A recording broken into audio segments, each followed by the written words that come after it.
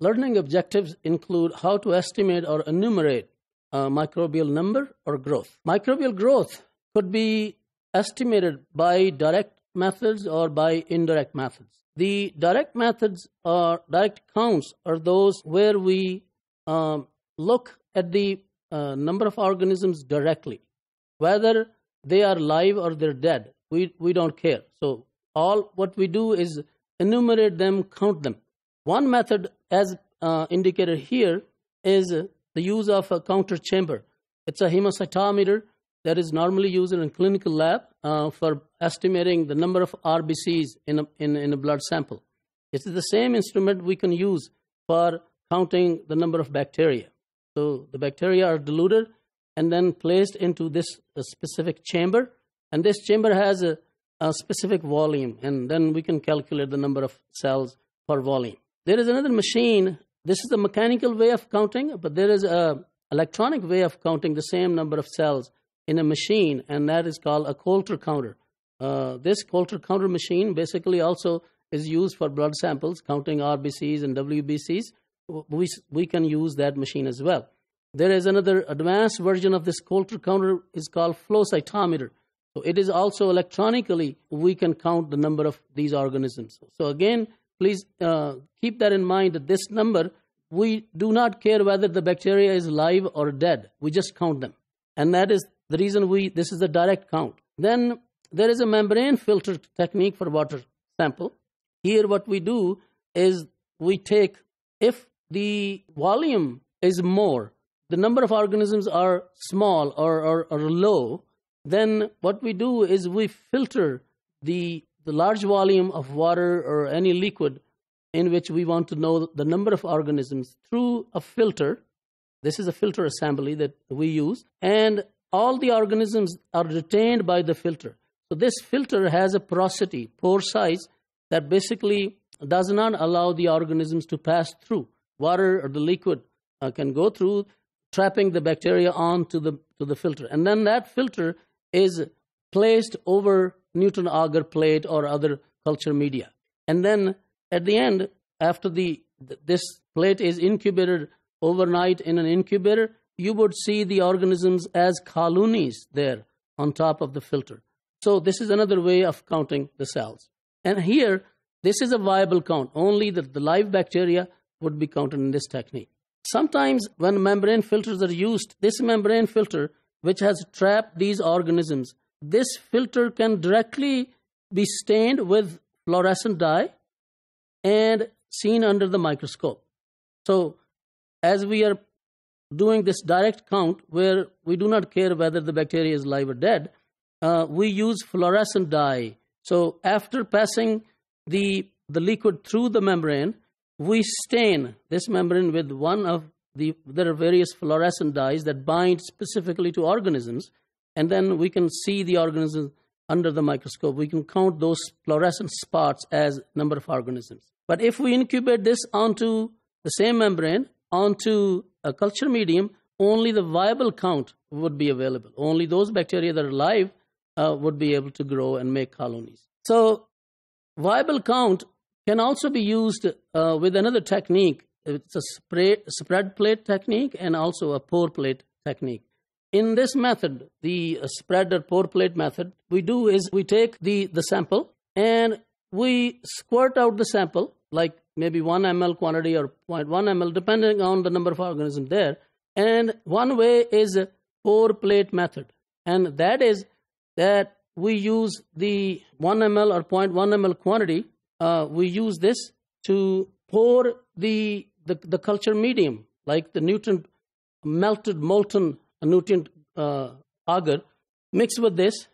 And similarly, here we can use the same quantity, like 0.1 ml or 1 ml for spreading onto the surface of a already solidified agar. So as I mentioned earlier, that the pour plate method, uh, we mix the volume that we took out of the sample with the molten agar, and then we spread that into uh, into a plate.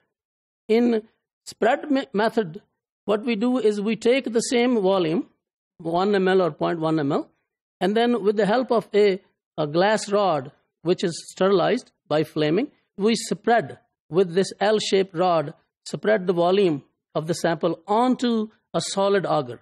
And then we incubate these two together, and then we can count the colonies. So the colonies would look like this. So we can count the number of colonies, and then it's just a calculation uh, by count the number of colonies, multiply by the dilution factor, and that gives you number of colonies in the sample. So here, these two methods, they also give us a viable count. This method, where we use a dry weight or spectrophotometry, these are indirect way of estimating the number. Not exactly, but it can give you an estimate, rough estimate, which is pretty close to the number. The, the culture medium, which is liquid medium, where the bacteria are growing or microbes are growing, if we evaporate the water contents, we just leave the dry weight and we can weigh the, the dry mass of the bacterium. And once we have, for each species or each organism, we have to, to weigh the mass and then we have to calculate the number of organisms in that mass one time. But later on, if we, like we are doing some large, scale vaccine production, we can, if we have established that this much weight is equal to this much number of organisms, then every time we need to make vaccine, we, we can use this dry weight. So one time you have to calculate the number.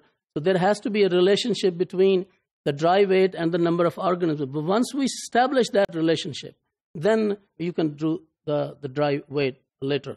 Similarly, spectrophotometry could be used. As we know that organisms, they absorb light.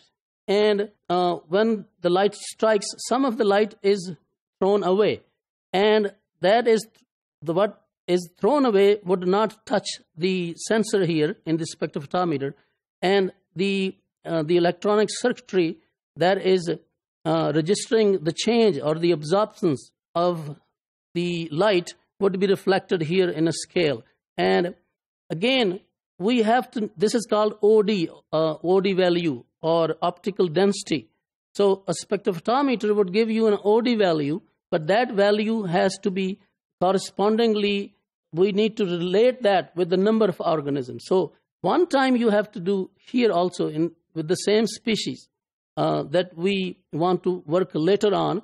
We have to one time we need to establish the number of organisms at certain OD value.